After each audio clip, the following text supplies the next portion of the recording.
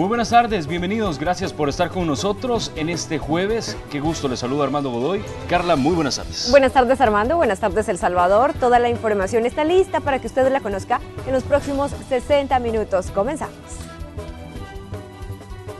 las condiciones del tiempo, los vientos han alcanzado máximos impresionantes en estas últimas horas, desde eh, horas, desde muy temprano en la madrugada, hay bajas temperaturas, se espera, según los expertos del Ministerio de Medio, de Medio Ambiente y Recursos Naturales, que estas condiciones continúen para lo que resta de este día y para mañana. También se espera que estas condiciones vayan, eh, pues las temperaturas eh, aumentando, es decir, habrá calor para el sábado y domingo. Eso es lo que han dicho los expertos. Así que manténgase siempre pendiente de las informaciones que estén emitiendo las autoridades. Lo que tiene usted en pantalla es un mapa donde estamos viendo que hay dos alertas de temblor, de movimiento sísmico. Por supuesto, esto ocurrió en México de 5.1, es uno de ellos. Y eso fue hace cuatro horas, según los reportes que nos están dando. Vámonos rápidamente con los titulares. Las autoridades lanzaron el Plan de Prevención y Protección Escolar 2018, con el que se busca dar seguridad a más de mil centros educativos para prevenir hechos de violencia. Y la violencia no para. El 2018 inició con un repunte de homicidios. En lo que va de enero se han registrado 177 crímenes, siendo el miércoles de esta semana el día más violento. Tras la resolución de la Sala de lo Constitucional, los candidatos independientes tienen una nueva oportunidad para buscar el voto en las próximas elecciones presidenciales. Le contamos que dijeron los magistrados del Tribunal Supremo Electoral al respecto los partidos políticos intensifican su campaña de cara a las elecciones del 4 de marzo. Hoy, candidatos a diputados del partido Arena realizaron un recorrido por la libertad. Continuarán los vientos y bajas temperaturas durante las próximas horas, producto de la influencia de un frente frío en Centroamérica. A partir de hoy, los más de 190 mil salvadoreños amparados bajo el TPS en Estados Unidos tienen la oportunidad de reinscribirse por última vez. La actual prórroga vence el 4 de marzo.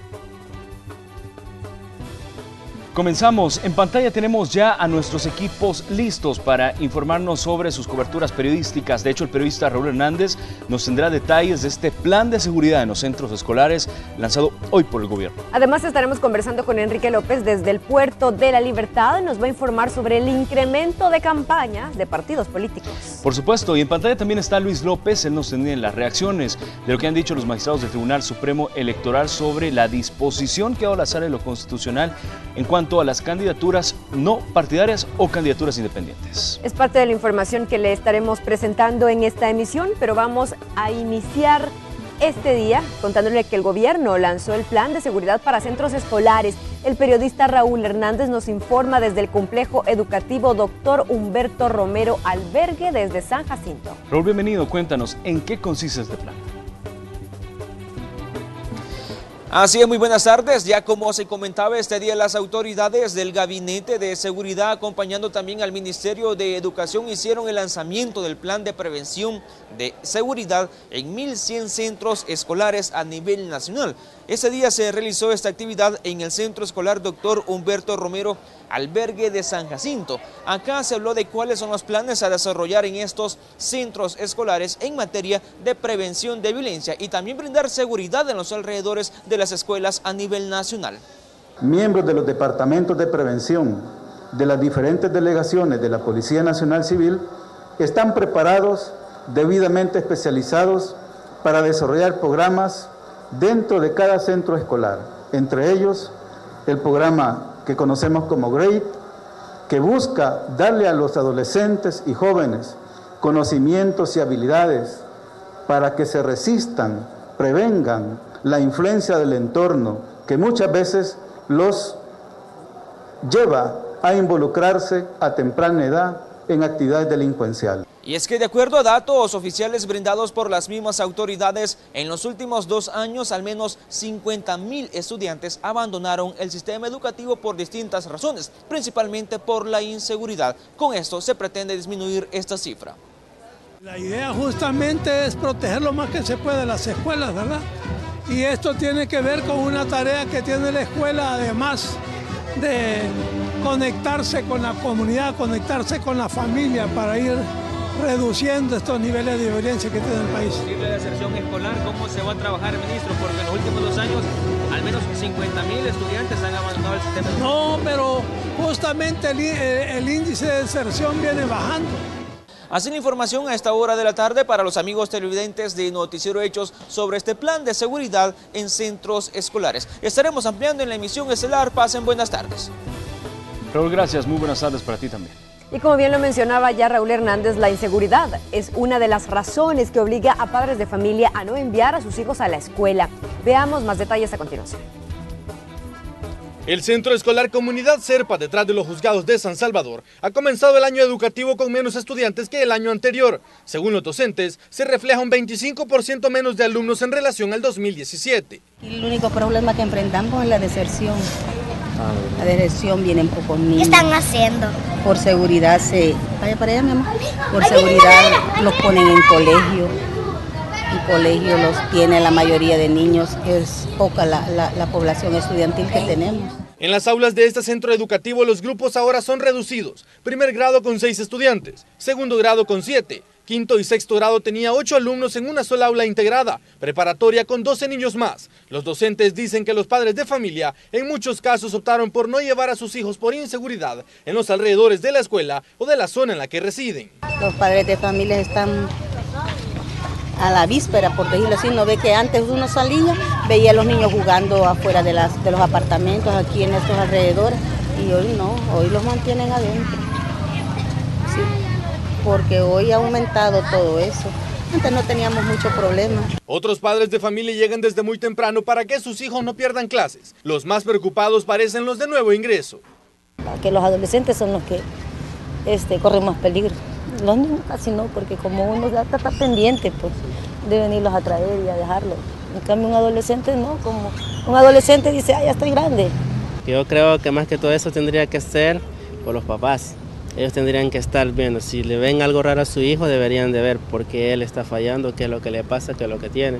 Pero ¿qué es lo que hacen? A veces hay algún problema, lo primero que dicen, bueno, ya no, si querés ya no vayas. Entonces siento que ahí los papás son los que fallan. Sin duda un reto para las autoridades de educación y seguridad pública, tomando en cuenta que el año 2017 unos 14.000 estudiantes desertaron de sus clases por diversos motivos. Y aunque la cifra fue menor a los 40.000 que desertaron en 2016 y hasta 80.000 en 2015, la deserción es un problema en el sistema educativo del país. Con imágenes de Juan Castellanos, Néstor Hernández, Noticiero Hechos. Y es que la violencia no para. De hecho, varios crímenes han sido registrados en las últimas horas. Entre estos, un doble homicidio en Ilopango. Las víctimas fueron el motorista de un microbús particular y un pasajero. La delincuencia es uno de los mayores desafíos que enfrentan las autoridades del país y es que a diario son varios los crímenes que se registran y este pasado miércoles no fue la excepción. Tras una jornada violenta, al menos 18 personas fueron asesinadas. Uno de los casos ocurrió anoche en la residencial Bosques de la Paz de Ilopango, donde dos personas, incluyendo el motorista de un microbús particular, fueron asesinados a tiros. Una de las víctimas viajaba como pasajero y tras el ataque resultó con graves heridas, muriendo posteriormente en el hospital. Tenemos conocimiento de que el, la víctima pues, este, venía conduciendo el microbús cuando al parecer sujetos no identificados se le acercaron y le acertaron una serie de disparos, excepto en el lugar. ¿Alguna moto o vehículo? Mencionan de un vehículo. De este hecho, se desconoce el móvil, pero detrás de este doble crimen estaría el accionar de las pandillas casi de forma simultánea, en otro lugar de la zona metropolitana, en el kilómetro 11 y medio de la autopista a Comalapa, el cadáver de una persona era localizado envuelto en una sábana. De este caso, según las autoridades, la víctima fue asesinada con arma de fuego y posteriormente abandonaron su cadáver en ese lugar. pandillas. ¿La zona en la, en la que nos encontramos? Eh, sí pertenece a pandillas, pero no tenemos mayor información ahorita. ¿Y ¿no? te portaba documentos? No, ningún documento, ninguno, ninguno. Pero la jornada de violencia de las últimas horas también llegó hasta el cantón Miraflores de San Pedro Perulapán en Cuscatlán, donde la fiscalía reportó el asesinato de un hombre. En el barrio La Vega de Rosario de Mora también se registró otra escena violenta. Con imágenes de José Delgado, este es un informe de Ileana Leiva para Noticiero Hechos. Y otro cadáver fue localizado envuelto en sábanas, esta vez en la zona occidental de nuestro país. Nuestro aliado Punto Noticias con el informe. Envuelto en sábanas. Así fue encontrado el cuerpo sin vida de una persona del sexo masculino sobre el kilómetro 74 de la carretera que de Chalchuapa conduce hacia Aguachapán, sobre el bypass, a unos metros después de la entrada del sitio arqueológico Casablanca y cerca de la calle principal que conduce hacia el balneario El Trapiche del municipio. Este día, eso de las 5 de la mañana, eh, a la altura del kilómetro 74, entrada del balneario El Trapiche, se nos reportó eh, al inicio se creía que se trataba de un indigente, porque nos decían que estaba envuelto en sábanas, como al parecer estaba dormido, pero al llegar la patrulla al lugar se puede constatar que se trataba de una persona con otro tipo de, de envoltura y con algunas manchas que en su momento se podía determinar que era sangre. La víctima no fue identificada por las autoridades policiales, ya que no portaba documentos, pero según las investigaciones era una persona travesti por la apariencia y vestimenta femenina que usaba. Al principio por la vestimenta, porque el cabello de la persona es largo, eh, las uñas de los pies eh, con un color negro, todo apuntaba a que era una persona del sexo femenino, pero ya cuando las instancias llegan a la escena y hacen el reconocimiento, eh, ya podemos determinar que se trata de, de una persona del sexo masculino que utilizaba prendas femeninas. Según elementos de la Policía Nacional Civil, la víctima fue asesinada con arma blanca y se presume que fue abandonada en el lugar. Las investigaciones en torno a este hecho han iniciado para poder determinar el móvil de este hecho y la identidad del ahora fallecido. Con imágenes de Miguel González, este es un informe de Edgar García para Punto Noticias. Siempre en la zona occidental del país, un hombre fue vapuleado y su cadáver encontrado abandonado sobre el kilómetro 56 de la carretera que conduce de Santa Ana hacia Candelaria de la Frontera. La víctima no portaba documentos, por lo que no pudo ser identificado. Según la fiscalía, tenía dos tatuajes no alusivos a pandillas. Y sobre este tema, las autoridades incluso investigan si detrás de algunos crímenes ocurridos recientemente en diferentes puntos del país podría atribuirse a grupos de exterminio. El 17 de enero se catalogó como el día más violento en lo que va de 2018, dice el director de la Policía Nacional Civil, Jaguar Coto. Y es que la violencia continúa aumentando a medida avanza el mes de enero. Las cifras se distancian cada vez más de las registradas en el mismo periodo del año pasado, cuando se contabilizaban 147 asesinatos. En el, en el mes de, de enero llevamos hasta el momento un total de 177 casos. Estamos durante el mes de enero teniendo 30 casos más de homicidios. El año pasado, hasta la fecha, el promedio diario era de 8.6 y este año es de 10.4. Actualmente la zona oriental es la más acechada por pandillas, según el director de la policía. Cuando se buscan las causas del repunte de violencia, los titulares de seguridad pública ven posibles pugnas entre pandillas, enfrentamientos y el aparente involucramiento de grupos de exterminio. Es decir, se ha continuado en condiciones parecidas a las de la finalización del 2017. Durante las últimas semanas, sendos hechos de violencia han sido cometidos por sujetos con vestimentas parecidas a las de la policía. Las autoridades ya investigan la autenticidad de los uniformes, pero también han implementado distintivos especiales. Hay instituciones policiales que tienen hasta 12 medidas de seguridad en cada uniforme. No voy a hablar de cuáles son, pero hasta 12 medidas de seguridad que no son detectables a simple vista, ¿verdad? Que requieren de equipo especializado o de un conocimiento específico para saber cuáles son. La policía también tiene el reto de evitar que elementos de la institución resulten envueltos en acciones criminales. El agente del GRP Josué Castillo se ha convertido en uno de los más buscados tras el incidente ocurrido a finales del año pasado, donde su compañera, la agente Carla Ayala, quien se encuentra desaparecida, habría sido la víctima. Con imágenes de Ricardo Tobar y Roberto Martínez, Antonio Valladares, Noticiero Hechos. Está ocurriendo, vamos a hacer una pausa en las noticias de carácter nacional y vamos a ver un poco lo que está pasando en el mundo. Este es el avión precisamente donde el Papa Francisco está saliendo de Chile, la gente lo está despidiendo y se dirige hacia el Perú. Se espera que llegue a eso de las 5 de la tarde. La agenda de él contemplará del 18 al 21 de enero, cumplirá varias actividades en Lima, en Puerto Maldonado y en Trujillo. Al menos así lo han dado a conocer los encargados de la agenda del Papa. Se espera también que se reúna con sacerdotes, con líderes, con jóvenes. Se espera también que eh, oficialice algunas misas en eh, las ciudades importantes del Perú. Repetimos, el Papa Francisco está saliendo de Chile en este momento por esta gira que está teniendo en eh, Sudamérica y se espera que llegue a eso de las 5 de la tarde. Después de una jornada en este país que estuvo marcada por varias protestas por parte de víctimas que habrían sido, por parte de personas que habrían sido víctimas de abuso sexual por líderes religiosos. El Papa Francisco también fue agredido en una de las visitas que le hacían el Papa Móvil.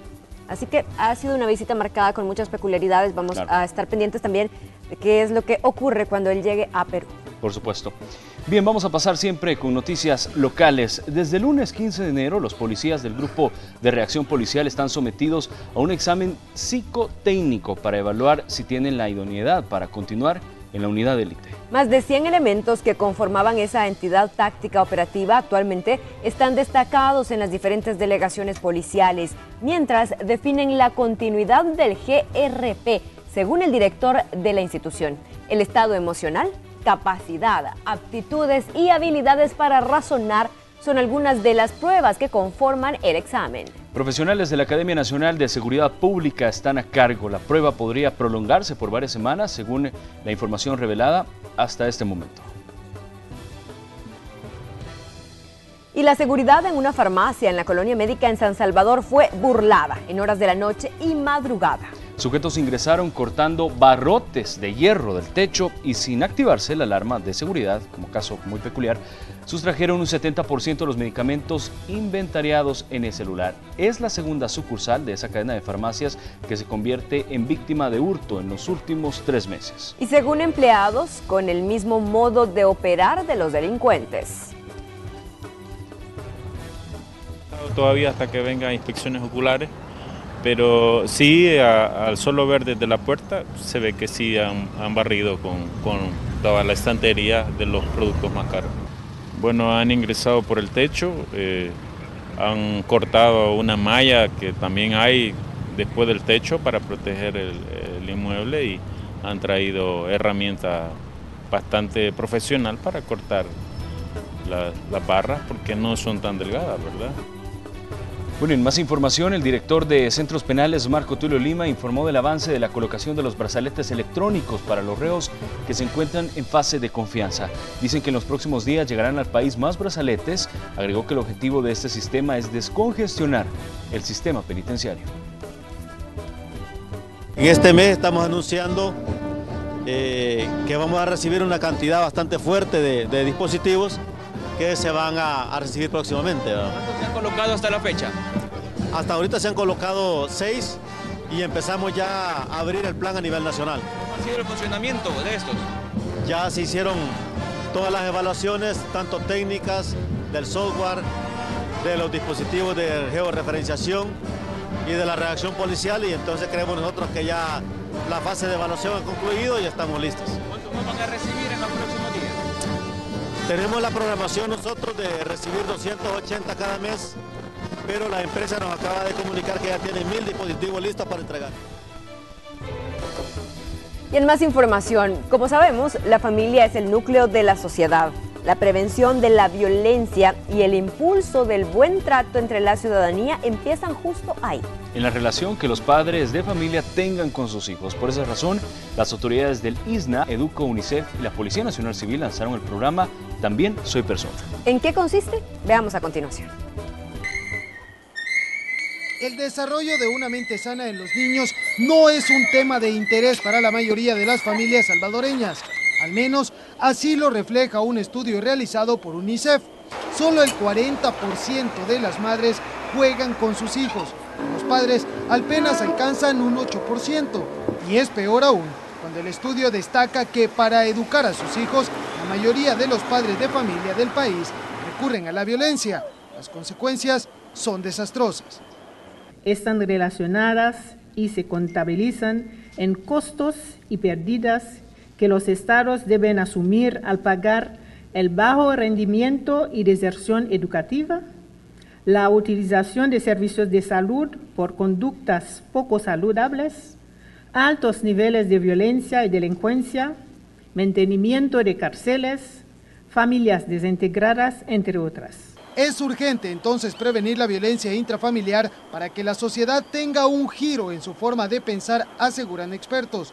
El Instituto Salvadoreño de la Niñez y la Adolescencia lleva ya 12 años trabajando en el tema y se plantea extender a 26 municipios priorizados. A través del programa También Soy Persona.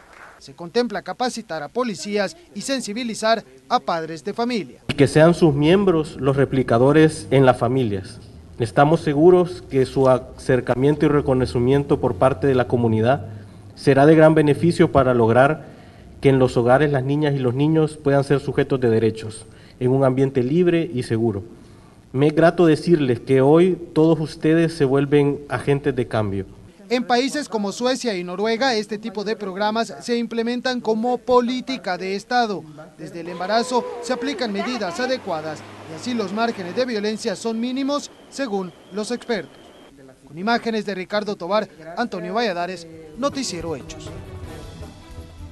Y con el objetivo que la población conozca las principales propuestas de los candidatos a diputados, el Partido de Arena inició una gira territorial en el municipio del Puerto de la Libertad. El periodista Enrique López nos tiene más información. Adelante Enrique con tu reporte. Así es, compañeros, buenas tardes. Comentarles que este día el presidente de Arena, Mauricio Interiano, en apoyo al alcalde del Puerto de la Libertad, Miguel Jiménez, iniciaron la gira territorial llamada Podemos Ser Más. Caminaron por las principales calles del municipio para escuchar las necesidades de comerciantes y población en general. Escuchemos a continuación las declaraciones. Parte de todas las actividades que estamos haciendo, acercándonos a la gente, hoy estaremos haciendo un recorrido en el municipio y parte de esto es entender las necesidades de la gente para que continúen las obras. Eh, hay mucha obra que se ha hecho en estos dos años y medio que lleva, que lleva nuestro, nuestro alcalde aquí en La Libertad, pero, pero hay mucho trabajo por hacer y, por eso esperamos pues, tener la oportunidad de seguir trabajando por la gente. Con los proyectos que hemos traído innovadores como la, el cambio de todas las lámparas de mercurio, hoy tenemos alumbrado LED, va que eso viene a, a fomentar el turismo, la seguridad, ¿me entiende? También dos camiones recolectores de basura que ellos vienen a sumar al, al turismo que tenemos en nuestro querido Puerto de la Libertad.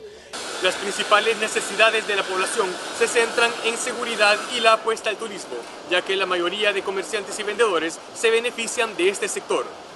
Costarle un poco más a la seguridad. Creo que viene el proyecto de videovigilancia para el Puerto de la Libertad y eso sería muy interesante y uno de los compromisos que nuestro alcalde estaría haciendo. El impulso del turismo, porque el turismo vivimos nosotros. Caso contrario no hay nada. Nosotros queremos que nos dejen vender siempre acá como estamos. Ojalá primero Dios no cambie nada de lo como está ahorita. Gracias a él que nos ha dejado vender en su, en su tiempo que él estuvo de alcalde y aquí a los diputados que sigan trabajando para uno en la asamblea. La gira territorial de Arena continuará el día de mañana en la zona paracentral, luego el fin de semana en el departamento de Chalatenango y en el municipio de Santo Tomás en San Salvador. Compañeros, esta es parte de la información que se las estaría ampliando en la siguiente emisión de Noticiero Hechos. Por el momento regreso a la señal hasta el set principal. Buenas tardes. Perfecto, gracias Enrique por tu reporte. Continuamos con más información electoral. El candidato del FMLN para la alcaldía de Santa Tecla, Vicente Coto, reiteró los señalamientos para el actual alcalde Roberto Dawison sobre la supuesta ilegalidad del cobro de las cámaras de videovigilancia. Además asegura que el dinero ciudadano estaba utilizado para pagar salarios y no para mejorar el servicio de los ciudadanos. Es que la alcaldía, en las actuales condiciones que se encuentra, con esa estructura presupuestaria, donde está realmente pagando únicamente salarios y no está teniendo más que un millón doscientos mil dólares de gasto de inversión social, esto tarde o temprano va a colapsar la administración de la alcaldía. Francamente, lo que requiere la familia Tecleña en este momento es que se expongan las ideas. Y tenemos reacciones de magistrados del Tribunal Supremo Electoral sobre la disposición de la Sala de lo Constitucional en cuanto a los candidatos no partidarios. El periodista Luis Alberto López entrevistó a algunos magistrados y nos tiene las declaraciones. Adelante, Luis.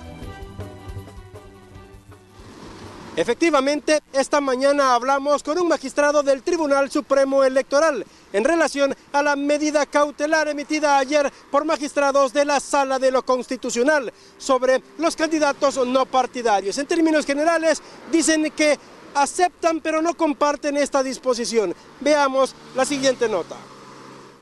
Ante la medida cautelar de la Sala de lo Constitucional que instruye al Tribunal Supremo Electoral para que revise el proceso de validación de firmas sin tomar en cuenta la duplicidad u otras observaciones para inscribir a los candidatos no partidarios, uno de sus magistrados dice que espera no afecte en el futuro los criterios de la resolución. ¿Qué le podemos decir? Pues bueno, yo personalmente no comparto en lo absoluto esa resolución, sigo creyendo que lo que habíamos planteado es lo correcto. Ojalá que esto no vaya a afectar a futuro y que se pueda convertir en una fábrica de diputados. Eh, el tiempo lo dirá. Por el momento, pues lo único que queda es acatar la resolución de Salelo Constitucional, que es la máxima autoridad en materia constitucional y siempre hemos sido respetuosos con sus disposiciones, aunque no nos guste. Mientras haya una sentencia definitiva, dice que casi es un hecho que los no partidarios aparecerán en las próximas papeletas de votación. Vamos a poner todas las justificaciones que tengamos que dar y todos los elementos de fondo los vamos a plantear. Sin embargo, tengo la absoluta claridad de que desde el momento que se toma una medida cautelar de inscripción, no estamos jugando ya. Ellos van a ir en papeleta y van a participar. Ya luego sale lo constitucional, tomará su disposición, pero eh, ya no queda más que hacer que cumplir con esta resolución, que prácticamente es una sentencia. Da un proceso de apertura, pero es una sentencia. De hecho, las papeletas de votación están en proceso de impresión. En los próximos días que se defina qué candidatos no partidarios aplican, iniciarán la impresión de la parte frontal de la hoja de selección de candidatos a diputados. Pero el tribunal se encuentra con la presión del calendario que ya va en cuenta regresiva, ya que para el 22 de enero tienen previsto la impresión o comenzar la impresión de las papeletas para diputados. Este es el reporte que le tenemos a esta hora de la tarde. Regresamos a los estudios. Bien, muchas gracias Luis por tu informe. Y los aspirantes a candidatos independientes para diputados celebraron la decisión de la Sala de lo Constitucional que ordenó al Tribunal Supremo Electoral a revisar las inscripciones de estas personas sin tomar en cuenta si las firmas son compartidas entre sí. Según el bloque de aspirantes, son al menos siete casos de candidatos no partidarios que podrían ser incluidos para los próximos comicios del 4 de marzo. El hecho o e, e, esta serie de hechos de los cuales hemos sido objeto desde el mes de junio del año anterior, eh, ha sido un proyecto definido por la partidocracia del país. Pero lo que más nos extraña es que los magistrados del Tribunal Supremo Electoral, que deben de ser funcionarios que respondan al pueblo salvadoreño y no a cúpulas partidarias, se hayan prestado a todo este complot Y la entrevista de Hechos AM también se habló de política. El diputado Johnny Wright Sol habló de sus aspiraciones y otros temas de país. Bueno, en el futuro inmediato mío, eh, obviamente terminar mi legislatura eh, bajo la bandera de arena. Eh, posteriormente a eso, dedicarme a la construcción del nuevo proyecto. Y creo que este nuevo proyecto, siendo conservador, podrá tener incidencia y podrá participar en política a partir del 2021, que sean las siguientes elecciones. Las elecciones presidenciales del 2019 por ahora no son el objetivo de Johnny Raisol. Tampoco logró optar a una candidatura a diputado independiente debido a las restricciones que no le permitieron hacerlo. Sol asegura estar en la construcción de un plan que lleve el respaldo de la ciudadanía. Lamentó que los partidos políticos están haciendo mal su trabajo porque no se enfocan en lo que la gente necesita. eh, evidentemente los partidos políticos lo están haciendo muy mal. Eh, y no están eh, conectando con la gente, no están respondiéndole a la gente y, sobre todas las cosas no le están resolviendo a la gente. y estoy tan convencido de eso que inclusive yo he decidido trabajar sobre la base de un proyecto político nuevo, diferente, el todavía diputado del partido Arena asegura que es irresponsable tratar la cancelación del estatus de protección temporal como un tema político, cuando lo que en verdad importa son los más de 190 mil compatriotas, por lo que hay que buscar en los próximos 18 meses una solución permanente. Dijo sentirse confundido con las palabras del secretario de Comunicaciones de la Presidencia, Eugenio Chicas, quien aseguró que Qatar, país del Oriente Medio, podría acoger a los compatriotas tras el fin del TPS. A mí me sorprendió mucho el anuncio del secretario de Comunicación, porque para mí eh, no tenía mayor sentido, no tenía mayor lógica, y no estoy despreciando las oportunidades que pueden existir en Qatar. Eh, pero yo he revisado la cuenta de Twitter del Ministerio de Relaciones Exteriores queriendo entender eh, en qué consiste la visita del señor canciller y no encontré eh, dentro de los tweets o dentro de los anuncios que ha hecho, que está buscando una solución para nuestros tepecianos en Estados Unidos y trasladarlos a Qatar. Antes de finalizar su periodo como diputado, Johnny Raisol espera se logre la aprobación de una ley de agua, una deuda de la Asamblea Legislativa desde hace más de 10 años. Katy Ramos, Noticiero Hechos.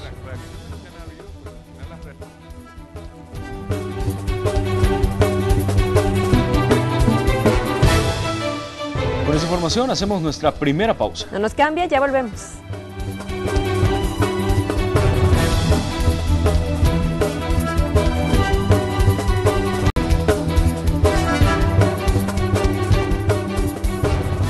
Gracias por continuar en nuestra sintonía y en el juzgado cuarto de instrucción se reinició la audiencia en contra del expresidente del Banco Multisectorial de Inversiones y el exdirector de Infocentros. Eh, acusado de peculado y negociaciones ilícitas. De hecho, la periodista Kelly Ábrego se encuentra ahí, nos informa más al respecto sobre esta audiencia. Adelante, Kelly. Buenas tardes compañeros, por supuesto nos encontramos en los juzgados donde en estos momentos la audiencia está en receso, pero justamente este es el tercer día en el cual se lleva a cabo esta audiencia en contra del expresidente del Banco Multisectorial de Inversiones, así como también del director ejecutivo de Infocentros.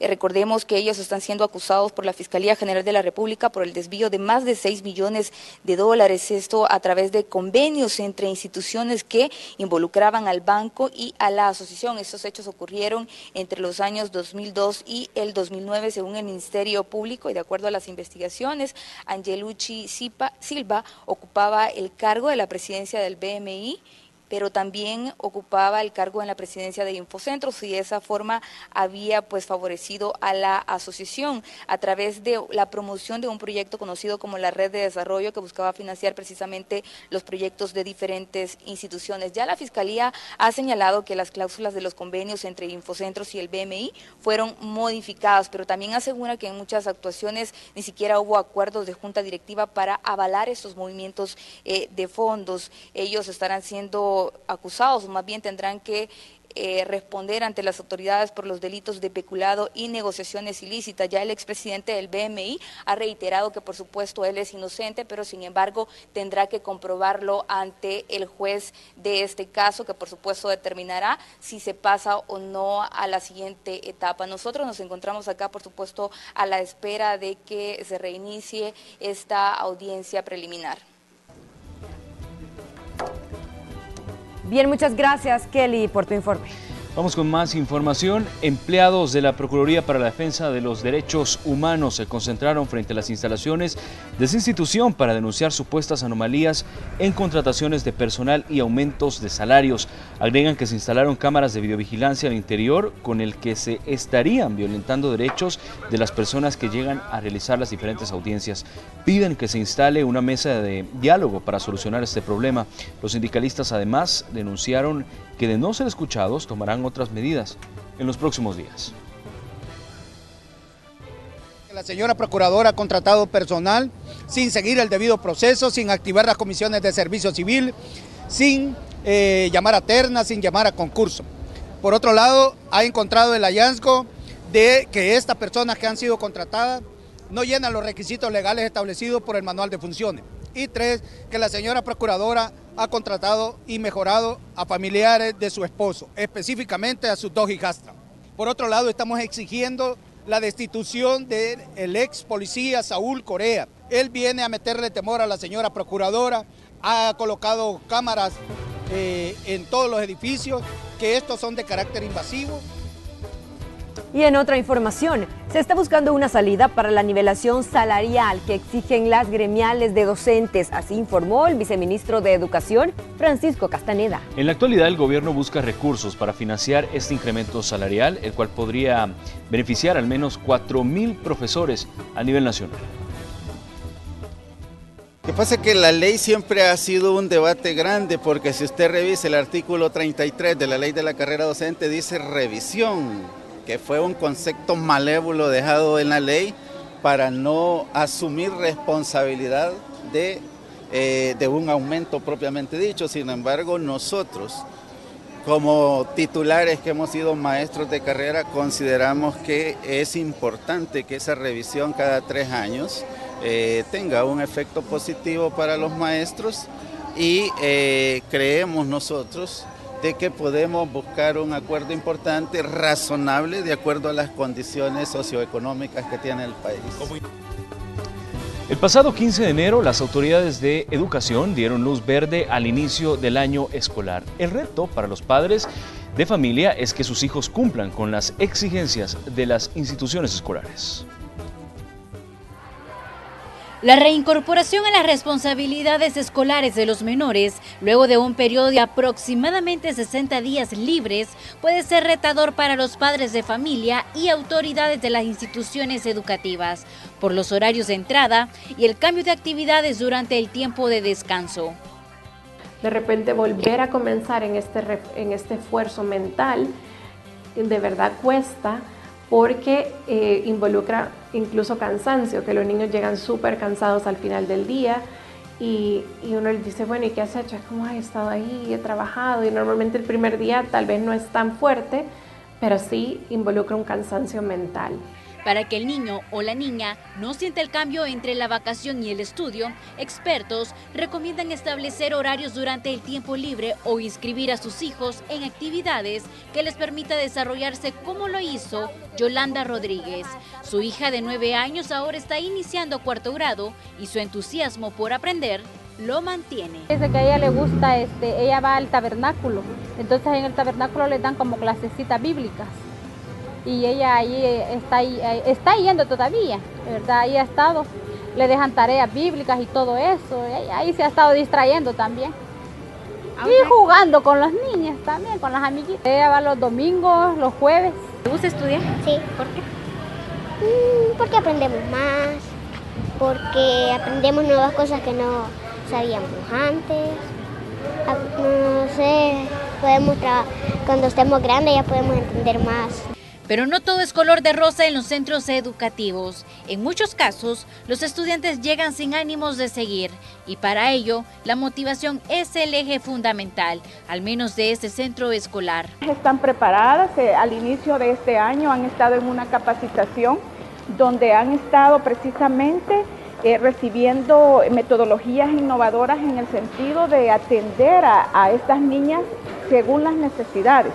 Entonces, eh, ahí está la, digamos, la, capacidad, las habilidades que, que, las maestras eh, y los maestros eh, apliquen en sus salones de clase con, las, con los estudiantes, en el sentido de, tratar la manera de que esas niñas que no se les ve motivación para el estudio, eh, que no quieren, que faltan a la escuela, motivarlas y atenderlas según sus necesidades. Los meses en los que la van a hacer la enseñanza basada en los valores como el amor, el respeto, la responsabilidad y la solidaridad es lo que se les inculcan a las 610 estudiantes y los maestros corren con la responsabilidad de atraer su atención. Las niñas no les damos de entrada a las clases, sino que empezamos a darles horarios, a hacer dinámicas, a motivarlas para que vengan con más entusiasmo a la escuela. En otros casos, la motivación de querer ir a clases nace desde el momento que saben en qué verán a sus compañeros, por estrenar los útiles escolares o simplemente por tener la meta de ser profesional. A mí me gusta ir a la escuela y me pone bien emocionada. ¿Por qué te gusta? Porque así aprendo más y puedo ser alguien en la vida. ¿Qué es lo que te gustaría llegar a ser? Pues una diseñadora gráfica. Sí, me gusta porque ahí aprendo cosas de lo que tenemos que estudiar. El 15 de enero inició el año escolar y los alumnos tienen más de 36 semanas para poder aprender en los diferentes niveles. Este es un informe de Marcela Rivera. En otro orden de noticias, uno de nuestros equipos investigó qué tanto se valora al adulto mayor en El Salvador. Para muchos hace falta más conciencia sobre el respeto a este sector. Es un buen tipo, mi viejo, que anda solo y esperando.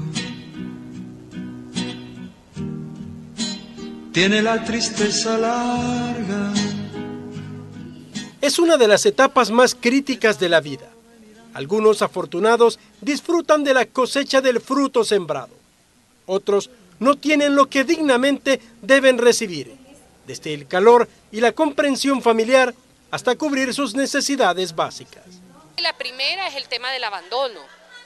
Eh, el abandono, es decir, que la familia no se hace cargo, no se trata solo de pasar una cuota mensual, sino que también la familia dé acompañamiento a sus adultos mayores, eh, que les... Eh, que los integren a las actividades familiares. Y la otra cosa que es muy común es la negligencia, es decir, no atender apropiadamente a un adulto mayor. Nosotros estamos viviendo en una sociedad y en lugar de valorar a nuestros adultos mayores, los estamos eh, maltratando, abandonando, dejando de lado. En opinión de algunos, hace falta más conciencia sobre el respeto a los adultos mayores, reconocer su esfuerzo, su trabajo, su sabiduría no hay respeto para los mayores porque todos los miran como nada. La, gente joven piensa que solo ellos tienen el poder. El adulto mayor está votado, los discriminan en los buses, en las calles. a veces hay jóvenes que el, anciano va parado en el bus, yo le he dado el asiento a ese anciano. Yo no puedo generalizar que todos tratan mal al adulto mayor. Hay una buena parte que sí, pero hay otro que sí le da su puesto. Es decir, no me tratan mal en todas las situaciones, todo, con personas, otras personas que hablo también, no, no hay ninguna discriminación. Se estima que para el año 2050 el 20% de la población de El Salvador tendrá 60 años o más, cuando el Estado tendrá un gran desafío para atenderlos. Son los adultos de hoy. Esto representa muchos desafíos, pues, porque al final, quieras o no, los adultos mayores también dependen mucho de los apoyos que la población joven puede dar. Apoyos en casa, visitas, alimentación. Y ahorita el, el sistema está diseñado para que sea la familia la que apoya pero muchas veces la familia está desarticulada porque la gente se ha ido fuera del país, deja a los abuelos a cargo de los nietos y entonces esa desarticulación también lleva a una mayor vulnerabilidad de las personas mayores. Con imágenes de Ever Ábalos, Luis Alberto López, Noticiero Hechos. Con esta información hacemos otra pausa comercial. Ya regresamos.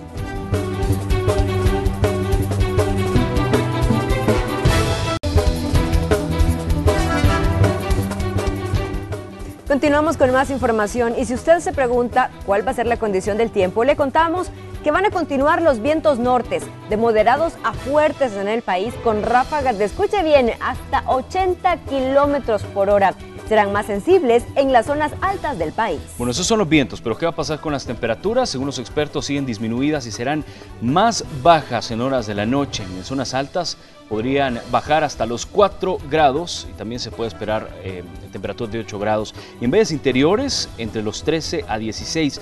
Esto producto de la influencia de un sistema de alta presión que se ubica al norte de Texas, en Estados Unidos, y un frente frío que continúa desplazándose sobre toda la zona del Caribe. Y una de las zonas donde las temperaturas disminuyen aún más es en el norte del país. Hablamos de Chalatenango. La periodista Esmeralda Alas de nuestro canal aliado nos informa al respecto. Los fuertes vientos y las bajas temperaturas se dejan sentir en el municipio de La Palma. Los habitantes se mantienen alerta para contrarrestar el frío. Uno de los municipios reconocidos por su clima fresco, hoy amaneció con temperaturas muy bajas y sus habitantes percibieron el cambio climático. Ah, bien pesado, lo sentí contaminante. ¿Pero cómo se ha preparado usted para el frío? Ah, envolviéndome estos trapitos aquí. Así se va el frío, ¿verdad? Ah, no se va, algo se cubre uno. Aquí está serio esto. Ya estamos cansados de tanto frío a buscar las cobijas. La única manera de calentarse un poquito. ¿De pues sí. cabecito? Cabecito también. Abrigarnos bien, no hay de otra. Lo que a algunos les parece un clima muy frío, hay otros quienes ya están adaptados a las bajas temperaturas, como don Jacobo, quien es de la zona de San Ignacio donde el frío es más fuerte, asegura, en horas de la madrugada. No, vi que yo soy de una zona, la zona alta de arriba, que es más helado que acá. Sí, por ejemplo, yo ahorita aquí no siento mucho frío, porque por lo menos antier estuvo bajo a 2 grados la temperatura. A las 2 de la mañana estaba a 2 grados. Los comerciantes aprovechan esta época para poner a disposición accesorios para abrigarse y contrarrestar así las bajas temperaturas. Hay gorro, hay guante, suéter, chumpa de cuero, eso es todo, colchas. Los fuertes vientos también causaron la caída de árboles en la carretera, por lo que se recomienda manejar con precaución. La recomendación es para la población en general a mantenerse bien abrigado para evitar cualquier complicación médica, pues espera que las temperaturas desciendan de manera considerable en horas de la noche y madrugada. Con imágenes de Adelso Aquino informó para CN Noticias, Esmeralda Alas. Esmeralda, gracias. Imagínate el frío en esa zona. Sí, bajas temperaturas. Así finalizamos esta emisión de Noticiero Hechos Tarde, mañana a la 1.30. Los esperamos. Bendiciones.